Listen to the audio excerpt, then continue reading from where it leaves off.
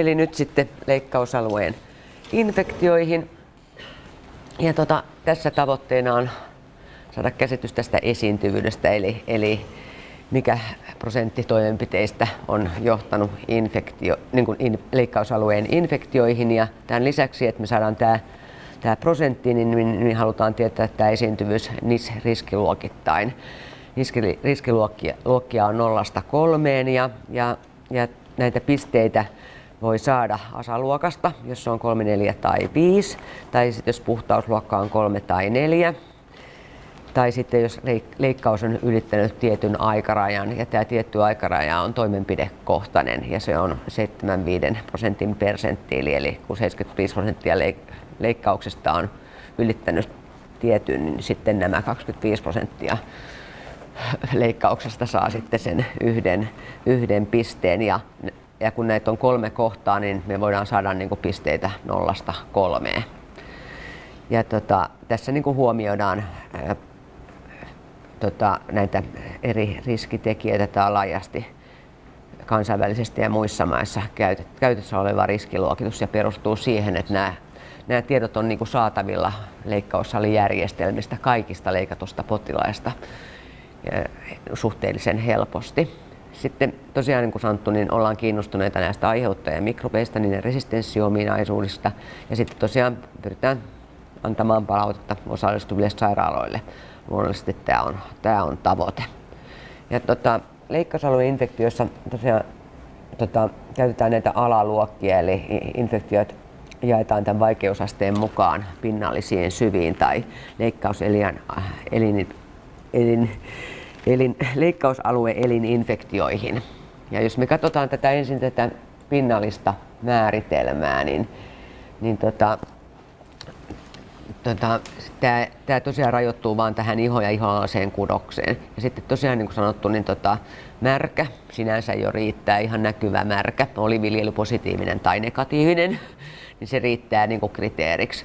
Mutta sitten tosiaan, jos meillä on kasvanut mikrobi, eli on otettu näyte, jostain eritteestä, oli se sitten tosiaan märkää tai pitkittynyt serosieritys, se pitkittynyt sero, niin siinä tosiaan edellytetään sitten löydöksiä. Et ei liitä vaan, että sieltä niin kasvaa pöpö, vaan siellä pitää olla jotain tulehduksen merkkejä. Ja, merkkejä merkkejä ja sitten tosiaan meillä voi olla sellainen tilanne, että tosiaan niin kuin sanottu, niin kirurgi on avannut, avannut haavan tästä tosiaan ihon, ihon alasen kudoksen niin kuin osalta ja silloin todella niin kuin sanottu, niin tässä tosiaan niin kuin sanottu, niin silloinkin silloinkin edellytetään näitä oireita tai löydöksiä, eli tulehduksen merkkiä, kipua, arkuutta, tulehdukset, kumotusta, mutta, mutta todella niin kuin sanottu, niin, niin se, että jos se otettu avauksen jälkeen yhteydessä otettu näyte osoittautuu negatiiviseksi, niin sitten se kumoutuu. Eli tämä tarkoittaa sitä, että siellä voi olla joku tämmöinen ster- seröösi, steriili erite tai sitten hematooma.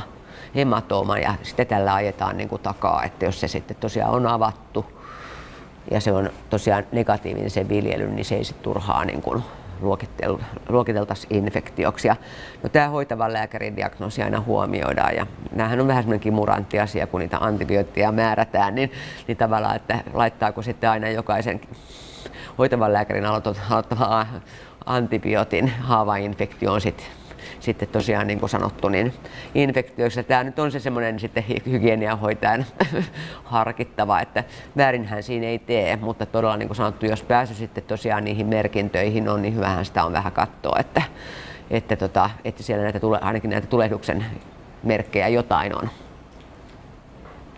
Ja sitten nämä ommelapskessit ei. Ei, ei, ei tota riitä, että nämä, nämä löydökset pitää liittyä siihen haavaan. Onko tähän käytännön pulmia, mitä teillä on tulkintaongelmia, niin olisin tässä yhteydessä jo kysynyt.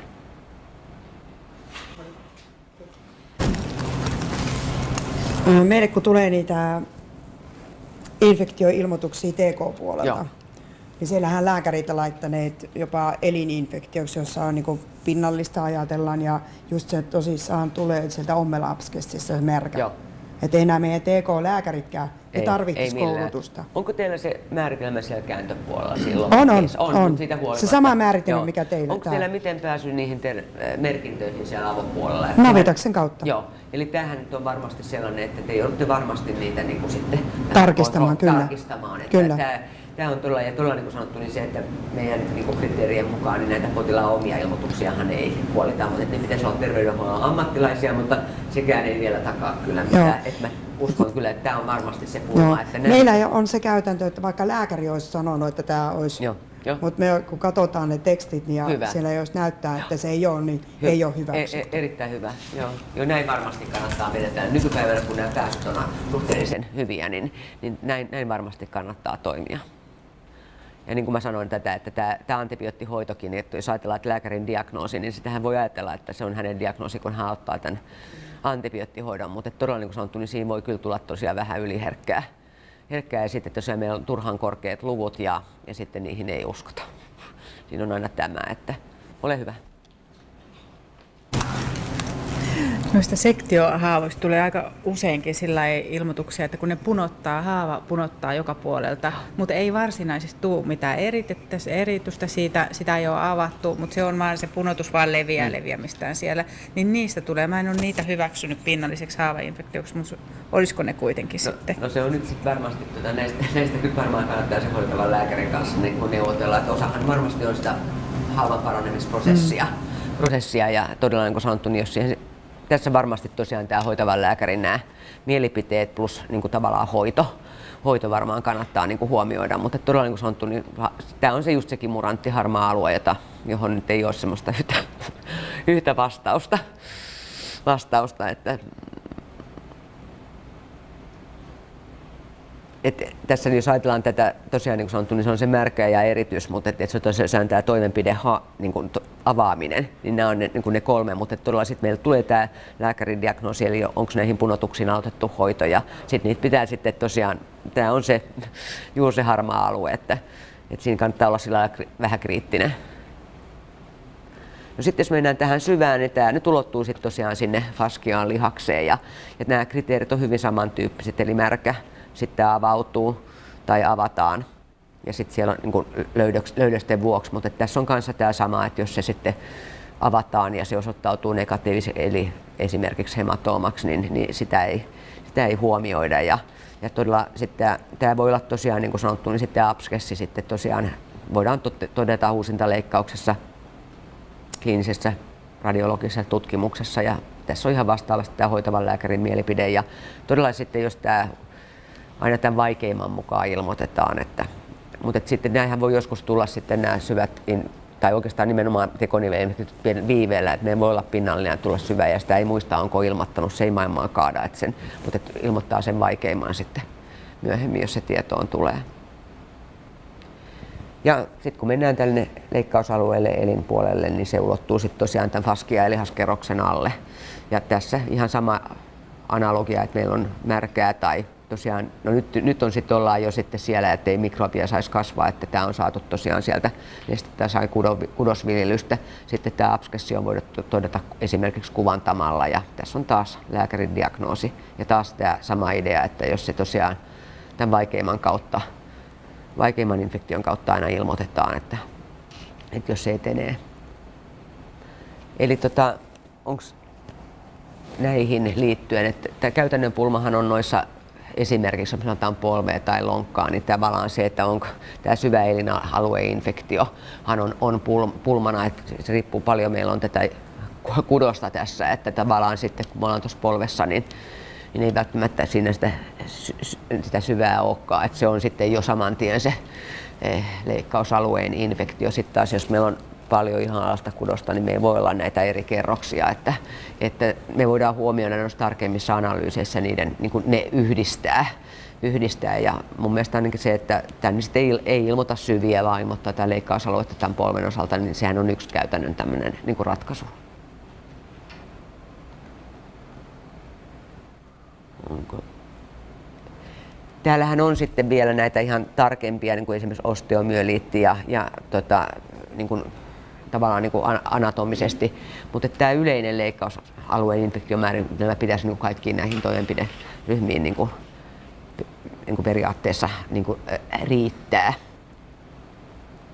riittää että, mutta että tässä on ihan sama, sama tota, idea, että tosiaan niin kuin sanottu, niin tota, meillä löytyy mikrobi tai, ja sitten tosiaan tämä on leikkauksessa, tämä löydetään tai sitten on näitä oireita. Ja sitten tosiaan tämä tosiaan mikrobi voidaan löytää verestäkin. verestäkin ja, mutta tai sitten tosiaan radiologisesti tämä näyttö infektiosta. No, mennään sitten tähän tapausten etsimiseen. Tämä ei olekaan niin yksinkertaista kuin nämä veriville positiiviset infektiot tai diffisiilit, vaan tosiaan että tässä pitää käyttää monenlaisia keinoja. Ja osa on epätarkkoja, niin kuin tuossa todettiin jo aikaisemmin, niin osastoilmoitukset huomioidaan. Tässähän on kiinni sitten, että miten meillä on kouluttautunut tai osaava tämä linkkihoitaja, että miten tehdään hänen kanssa yhteistyötä. Ja tota, kyllähän sitten tosiaan niin kuin sanottu, niin varmasti semmoista aktiivista yhteyttäkin heihin pitäisi varmaan pitää näillä osastoilla, kun nimenomaan tätä siroseurantaa tehdään, niin, niin, niin, muistuttaa tästä. Ja sitten tosiaan vaihtelevasti tosiaan sairaalat käyttää tätä kokeutuksen jälkeistä e, e, e, lomaketta sitten. Tähän ei ole pakollinen, mutta tosiaan se vähän riippuu toimenpideryhmästä, mitä seurataan. Että Tällä ortopedissa se nyt ei ole niin välttämätön, koska usein vakavat infektiot palaa kuitenkin sairaalaan tai saadaan kontrollikäynneillä kiinni, mutta sitten kun me mennään näihin muihin appendikektomien ja sektioihin ja tämmöisiin infektioihin, niin näissähän se osuus on niin suuri, että se melkein niin kuin vaatii sen, että on jotain jonkinlaista kotietuksen jälkeistä seurantaa kuvassa mukana.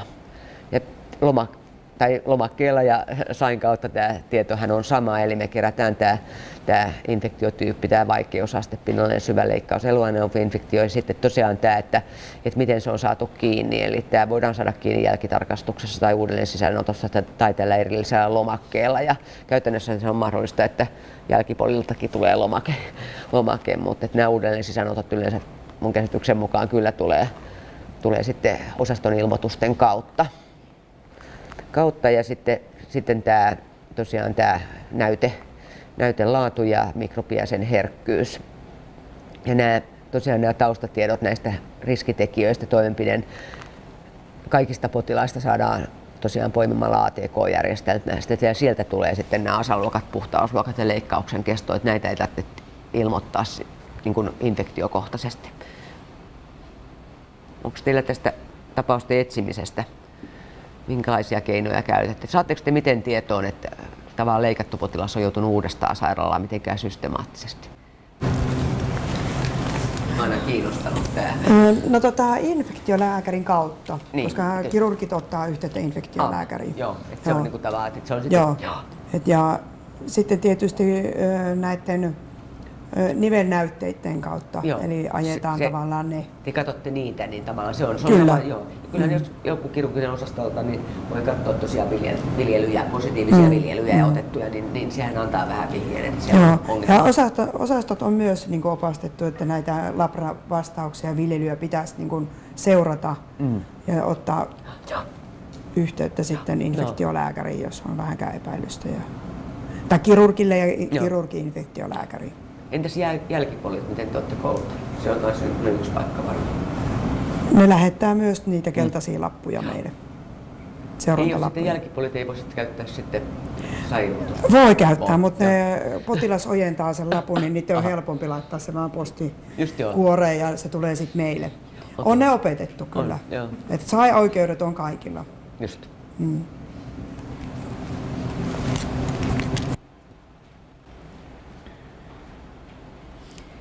No sitten mennään näihin kenttiin ja tässä on osa ihan samoja kuin veriviljely positiivisissa, positiivisissa infektioissa. Sairaalan nimi viite ei varmaan tuota ongelmaa. E, hetu, hetustakin mä puhuin, että siinä, siinä voi olla näitä tilapäisiä. Meidän leikkauspuolihan on aikuisilla lähinnä, niin se harvoin tulee kyseeseen. Ja tota, sitten meillä on tämä sairaalainfektiopäivä. Tämähän on vähän kimurantimpi sitten periaatteessa, kun me puhutaan näistä leikkausalueen infektioista, kun, kun tosiaan niin kuin sanottu, niin milloin ne oireet on alkanut. Niin mä uskon, että tämä varmaan aiheuttaa teille päävaivaa.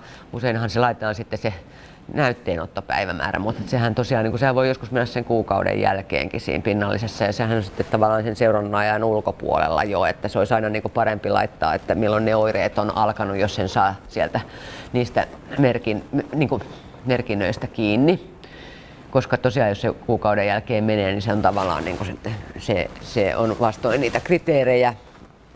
Ja tota, sitten, tämä on niin se yksi pulma, pulma mutta et niin kuin, ja sitten tavallaan jos ei sitten otettu näytettäkään, niin sitten periaatteessa sitten, tota, sitten on se, toiset saattaa laittaa sen ilmoitus, ilmoitus.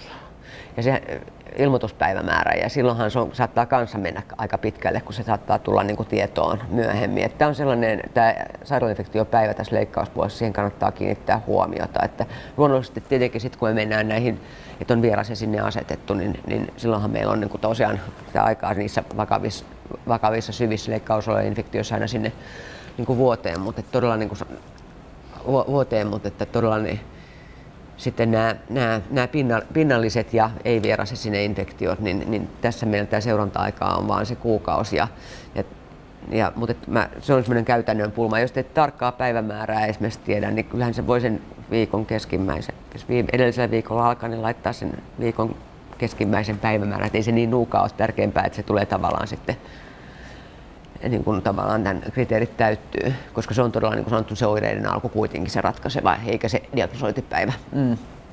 Niin. Niin. Niin. Joo leikkaussana, niin. niin sanon jo. Eli tosiaan kun leikkaus on tehty, niin sitten se jälkikontrolli on hirveän usein sen kuukauden Joo. päästä. Ja sitten siinä todella Joo. todetaan tämä infektio, mutta eihän se sinä päivänä alkanut, johon se on oireillut muutaman päivän siinä aikaisemmin. Eli periaatteessa se Joo. olisi. Mutta että sitten kun se näytö Joo. otetaan siinä käydessä, niin sitten se menee yli. Joo, mä ymmärrän. Joo. Et, tota, että mut te kuitenkin, voit, niin... Jos te saatte selville sen, että nämä, jotka menee yli, niin katsokaa niistä se näyttely ottaa yli, niin kattokaa niistä, jos sieltä papereista saisi jonkin, jonkun aikaisemman oireen alun. Mutta kun se, se ei välttämättä niin ole mitään, ja sitten se lääkärikään ei ole kirjannut, että, että mm. potilas kertoo, että alkanut jo tiistaina oireilla, niin, että, se niin. on, että sieltä saisi minkään kiinni. Joo, että, että se, ne on välillä niin hirveän nafteja ne, ne tekstit, mutta että sitten kuitenkin niin mm. niin se niin kuin näkee, että, että se ihan kyllä täyttäisi kriteerit, jos se olisi vain kirjattu. Joo. Joo. Mutta todella niin kuin sanottu, että jos sieltä saa jotain paperimerkinnöistä jostain kiinni, niin kuin, että se on viikko sitten tai muutamia päiviä sitten, niin laittaa sen aikaisemmaksi. Että tämä on, mutta todella niin kuin sanottu, niin tota, Tämä on käytännön pulma kyllä. Ja sitten tosiaan, jos me mennään sitten niihin tosiaan niin tekonille infektioihin, niin nehän voi kuukausia, viikkoja. Ja sitten tosiaan se varsinaisesti diagnosoidaan vasta yli vuoden jälkeen. Näitäkin tapahtumia on, että tämä on pulma. Sitten meillä on tosiaan niin kuin sanottu, niin tämä, okei, meillä on toimenpidepäivä, ainahan tämä pitää liittää johonkin toimenpiteeseen.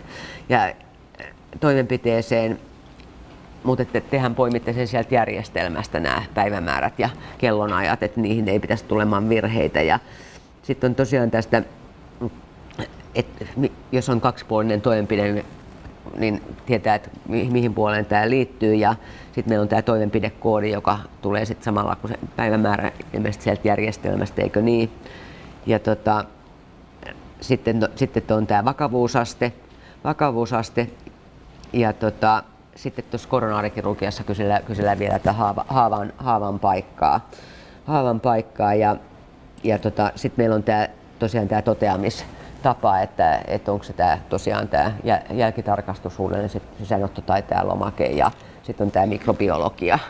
Et onko tästä leikkauspuolesta nyt sitten semmoisia käytännön pulmia sitten tähän väliin ennen kuin Teemu tuota teknistä puolta sitten rupeaa käymään läpi?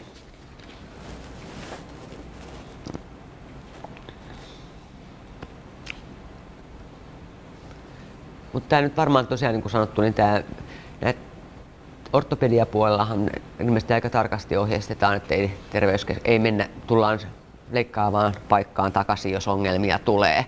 Että se on nämä, nämä muut toimenpideryhmät varmaan on sitten se pulma, jossa sitten otetaan hakeutua minne sattuu ja terkkariin ja muuta ja tuleeko ne edes tietoon kaiken kaikkiaan ja sitten todella niin kuin sanot, kuka niitä lomakkeita täyttää ja, ja osataanko tätä määritelmää tulkita, mutta silloin sitten tosiaan se on ratkaisevaa, että onko pääsy sinne niihin sähköisiin sairauskertomuksiin.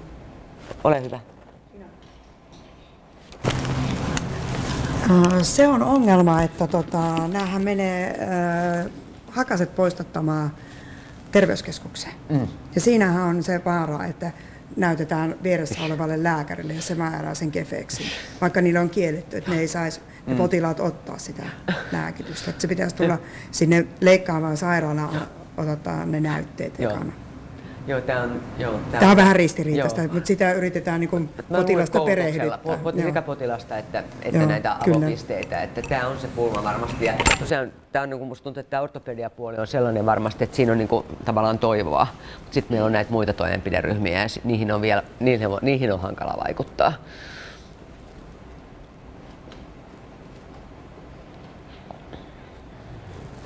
Jos me mentäisiin sitten periaatteessa tota... Vaihdetaan taas mikrofonia. Eli Teemu vähän vastaavia asioita kun äsken käy läpi sitten. Käyn tosta. Mm-hmm.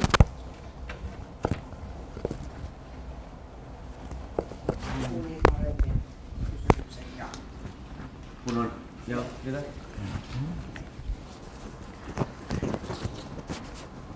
Jep. Eli mä esittelen lyhyesti tätä teknistä puolta tässä.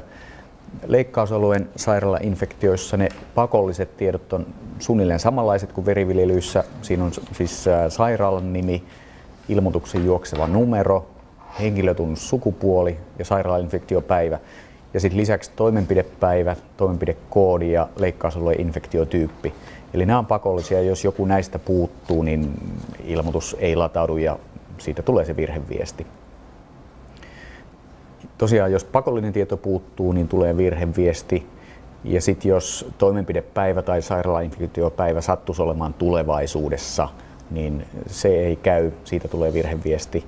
Tai sitten jos on käytetty semmoista toimenpidekoodia tai ilmoituksessa ei ole yhtään semmoista toimenpidekoodia, jotka olisi niin näitä oikeita Nomeskon koodeja, vai, vai jos kaikki koodit on jotain sairaalan omia, niin, niin se ei käy. Sitten on jotain huomioita, mitä tulee, ja se on vain huomautus. Esimerkiksi jos toimenpidepäivä ja sairaalainfektiopäivä on, ei ole niin kuin loogisesti, tai että on ilmoitettu sellaisia toimenpidekoodeja, jotka niin kuin teidän sairaalalla ei ole sinä vuonna seuran, siroseurannassa, niin siitä tulee huomautus. Nekin kyllä niin kuin ladataan. Tässä on mallia tästä kuittausviestistä. Tässä on nyt viisi ilmoitusta leikkausalueesta. Siinä listataan se ilmoituksen sairaalainfektiopäivä ja se juokseva numero, joka on se numero, joka näkyy niin kuin sain päässä, ja sitten se ilmoituksen tunnus, jonka se ilmoitus on saanut, kun se on tänne Siron tietokantaan tullut. Ja sitten siinä on vielä lukumäärä, että montako leikkausalueen ilmoitusta siinä tai infektioilmoitusta siinä oli. Ja sitten tässä on esimerkki virheviestistä ja siinä otsikosta jo näkee, että siinä lukee Siron virheviesti. Siinä on kerrottu, että minä päivänä se on yritetty ladata ja mikä sen tiedoston nimi on. Ja sitten on tämä tekninen virheviesti, jota täytyy sitten ensin tota, selvittää Neotiden kanssa ja sitten tarvittaisiin myös meidän kanssa. Ihan niin kuin veriviljelypuolellakin. Sitten tota, leikkausalueen infektioilmoituksen lisäksi me tarvitaan tietoja tehdyistä toimenpiteistä niin kuin kaikista. Ja se tarkoittaa, että tietyn kuukauden osalta me saadaan tiedosto, jossa on tieto kaikista tota, teidän sairaalassa sinä kuuna tehdyistä toimenpiteistä. Ja sitten me suhteutetaan näillä meidän raporteilla se infektioiden määrä ää, vaikka lonkan tekonivelleikkausten määrään ja saadaan tämä esiintyvyys. Ää, jep. Sitten tota, tässä on vaan mallia kuittausviestistä toimenpidenimittäjistä ja tässä on listattu tota, ää, tässä on esimerkkinä kesäkuu 2014, siellä on toimenpidepäivä ja sitten toimenpidekoodi. Ää, tätäkään teidän ei oikeastaan tarvi tarkemmin katsoa läpi, mutta on vaan hyvä, että kun te lähetätte vaikka ää, tammikuun ää, tota, leikkausalueen ilmoitukset, niin tietenkin me tarvitaan myös nämä toimenpidekuittaukset.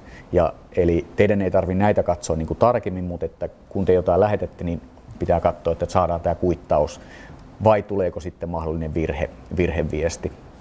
Ja tässä on sitten tässä kuittausviestissä, tässä lopussa on erilaisia huomioita, mutta huomiothan on sellaisia, että ne ei estä mitään sitä, sen tiedon vastaanottoa. Tässä on esimerkiksi sellaisia huomioita, että leikkauksen alkukello ja loppukello puuttuu. Se ei ole pakollinen tieto, niin siitä tulee vain huomautus.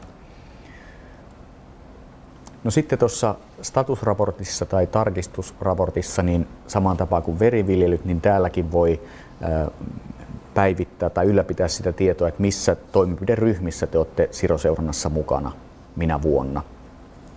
Ja se toimii suht samalla tavalla kuin tuossa veriviljelyyssäkin niin, että kun täältä valitaan tämä seurantatiedot leikkausaluepuoli, niin tässä näytetään esimerkiksi nyt sepelvaltimoiden ohitusleikkauksissa, että minä vuonna te olette mukana tai minä vuonna ette ole. Ja toi ää, rasti tarkoittaa, että te olette mukana tässä esimerkiksi nyt 2005-2015 ja sitten täällä on muutamia vuosia, jolloin te ette ole. Ja samaan tapaan kuin verivileissä, niin tässä voi sitten joko poistua seurannasta tai liittyä seurantaan, että tällä, tällä te voitte sen ylläpitää. Se vaan tehdään niin kuin kullekin toimenpideryhmälle erikseen. Sitten tämä tietojen tarkistaminen menee samalla tavalla kuin veriviljelyissä. Tässä vaan nähdään vuosi- tai kuukaustasolla toimenpiteiden määrä ja infektioiden määrä ja sitten ne voi kuitata. Tästä myös kuukaustasolla. Joo, ja tässä tosiaan ö, ensin tämä näyttää vuositason ja sitten klikkaamalla sitä vuotta se avaa sen vuoden kuukaudet ja ne voidaan kuuka, vaikka sitä mukaan kuitata, kun kuukausia kertyy tai, tai vuositasolla. No sitten tässä on leikkausalueen näistä seurantaraporteista. Nämä toimii ihan samalla tavalla kuin veriviljelyssäkin. Valintoina on se aika, sairaala ja sitten toimenpideryhmä. Jos ei erikseen rajata tiettyyn toimenpideryhmään, niin tässä näytetään näitä niin kuin kaikki toimenpideryhmät näillä raporteilla. Mulla on siitä esimerkki. Ja sitten voi halutessaan niin tota, koronaarikirurgiassa tehdä tietyn, tietyn rajauksen. Kaksi Ja nämä raporttitaulukot on tosiaan siinä raportilla kaikki peräkanaa. Mä näytän ne tässä vaan nyt omilla sivuillansa. Tässä alussa ö, yhteisti, niin yleistiedot, että paljonko oli potilaita, paljonko oli infektioita, toimenpiteitä ja sitten siitä laskettu esiintyvyys. Nämä esimerkit on siitä, että on kaikki sirosairaalat koko ajalta. Mutta sitten jos te valitsette oman sairaalan, niin te näette vain oman sairaalan tietoja tai vaikka vuoden 2014 tietoja. Ja vain yhdessä toimenpideryhmässä? Ja, joo, ja vain yhdessä toimenpideryhmässä, jos valitsee niin. Sitten tässä on nämä toimenpideryhmät, kuinka monta sairaalaa on tänä aikana ollut siinä mukana, paljonko on potilaita, paljonko on infektioita, toimenpiteitä ja siitä sitten se esiintyvyys niin kuin toimenpideryhmittäin. Sitten on infektiotyypit kullekin toimenpideryhmälle. Eli täällä on tota, pinnallinen, syvä ja sitten leikkausole tai elininfektio – ja sitten on erikseen syvien ja sitten leikkausalueen elininfektioiden esiintyvyys toimenpideryhmittäin. Sitten on tämmöinen taulukko toteamisesta, eli kaikki uloskirjauksen jälkeen todetut, paljonko infektioita ja mikä osuus se on. Ja sitten on tieto jälkitarkastuksessa uudelleen sisäänotossa tai sitten kotiutuksen jälkeisestä seurannasta. Sitten on tämmöinen taulukko eri tavoin todetuista infektiotyypeistä, Eli tässä on nämä infektiotyypit ja sitten jälkitarkastus, uudelleen sisäänotto ja niin edelleen. Sitten on tämmöinen iso taulukko, joka on nyt, ja näette kohta sen niin kuin kahdessa palassa, eli esiintyvyys elektiivisesti ja päivystyksenä tehdyissä toimenpiteissä. Eli tässä on nämä toimenpideryhmät, sitten on toimenpideluokka, eli täällä on elektiivinen päivystys ja sitten toimenpideluokka tämmöinen tuntematon niin niistä on laskettu esiintyvyys ja on sitten kerrottu myös, että mikä se infektioiden määrä oli tai mikä se toimenpiteiden määrä oli, että mistä, mihin se esiintyvyys perustuu. Sitten on niin kuin kullekin toimenpideryhmälle tämmöinen toimenpiteen keston persenttiilijakauma, eli kuinka paljon toimenpiteitä yhteensä ja sitten miten tämä toimenpiteen kesto jakautuu. Ja tämä 75 persenttiili täällä viimeisessä saarakkeessa tarkoittaa sitä, että 75 prosenttia noista esimerkiksi sepelvaltimon ohitusleikkauksista kesti 250 minuuttia. Kyllä, eli 25 prosenttia yli sen. Joo, just näin. Ja sitten on esiintyvyys NNIS riskiluokittain. Tässä on, tämä on tämmöinen leveä taulukko, jonka mä näytän parissa palassa kohta. Eli täällä on riskiluokat 0, 1, 2 ja 3 ja sitten riskiluokka tuntematon. Ja kustakin on sitten toimenpiteiden määrä ja infektioiden määrä ja se esiintyvyys. Sitten on aiheuttajamikrobit, eli mikrobiryhmiä tai mikrobeita, ja sitten se löydösten määrä ja niiden, niiden osuus. Ja sitten on tämä mikrobilääkeherkkyys niin kuin näille tavallisimmille aiheuttajamikrobeille. Ja tässä on nyt KNS, Staphylococcus aureus, enterokokit, Pseudomonas aeruginosa. Eli tämmöiset on nämä leikkausalueen raportit. Ja nyt jos tästä tulee kysyttävä, niin kysykää vaan tai sitten myöhemmin. Hengittää ja jutella muutama sana ennen kuin diffisileen. Joo, tossa toi ja siitä se. Että voidaan muutama sana tässä vaihtaa ennen kuin siirrytään taas eri infektiotyyppiin eli diffisiileen. Onko tältä leikkauspuolelta? Mitä on käytännön ongelmia? Onko näitä taulukoita kuka käynyt katsomassa, minkä verran tai ottanut tai ovat toimineet? On. On. E- joo, et, et sujuu. Joo. Hyvä. Entäs? Se on se varmasti se määritelmä ja niiden tapausten löytyminen. Mm. Onko niin? Mm. Kyllä ne sitten aika selkeät on, jos ne lavantioon joutuu. Niin, sitten teillä se ortopediapuoli. Joo, ne tekonivelinfektiot sitten kun, ja teillä nyt varmasti ollaan hyvin valppaina ja tehdään hyvää diagnostiikkaa, mutta se tosiaan sanottu, niin ongelmia on varmasti muissa toimenpideryhmissä enemmän kuin, vaikka siinäkin se on vaikeaa. Mm. Miten, entäs tämä pinnallinen puoli? Niitä tulee jonkin verran. Mm. Pinnallisia tulee jonkin verran meille niin kuin terveysasemilta niitä ilmoituksia. Joo. Vantaan Kerava saa terveyskeskus vuodeosastolta kyllä tulee kanssa. enemmän sitten on, niin kuin, että tuleeko noita kun nilkkaa leikataan tai olkapäätä. Mm, niin ihan muita ei tarvitse seurannassakaan mm, Niin, Joo. että niiden seuranta on nyt niin kuin vähän Joo. huonompaa. Oliko teillä nyt sitten, mainittiin sektio, mainittiin, että onko muita toimenpideryhmiä nyt sitten seurannassa kuin tämä ortopedia? Viideksessä tehdään nyt sitten kaikki tämä mm. homma nyt tällä hetkellä, että Onko, töölössä, onko selät vielä töölössä? On, mutta toki joo. me ei olla siinä seurannassa. Joo, just joo. joo. joo. Miten seurannassa? Mitäs? Se. Sektiot vaan, joo. Eikä ole rintakerukia. Ei. Se on sellainen, jota nyt kaipaa. Sitä on ennen aikaisemmin tehnyt ja siinä on volyymiä paljon. Mutta katsotaan nyt periaatteessa... Tänä vuonna. Joo. Katsotaan, katsotaan jatkossa. Me on niitä vanhoja tietoja Jorvin osalta analysoitukin. Voi olla, että se voisi vaikka käynnistyä uudestaan sen myötä. Katsotaan. No niin, mutta kun tämä saataisiin nyt tosiaan vähän tämä tiedonsiirto ja laatu paranemaan ja nämä raportit, niin tota, sitten voidaan ruveta houkuttelemaan sairaaloita sitten lisää näihin uusiin toimenpideryhmiin. Oli se sitten tosiaan selkä tai rintakirurgia ja niin edelleen, niin sehän tämän niin kuin mielenkiintoisemmaksi tekee, koska tämä ortopediapuolihan tosiaan on, on ortopedia kiinnostunut, kiinnostanut, mutta tavallaan saattaisi muitakin varmaan innostumaan, kun olisi enemmän sairaalta mukana. Että semmoinen yksi, kaksi ei oikein riitä. oikein riitä, että siinä on vähän liian vähän sitä dataa.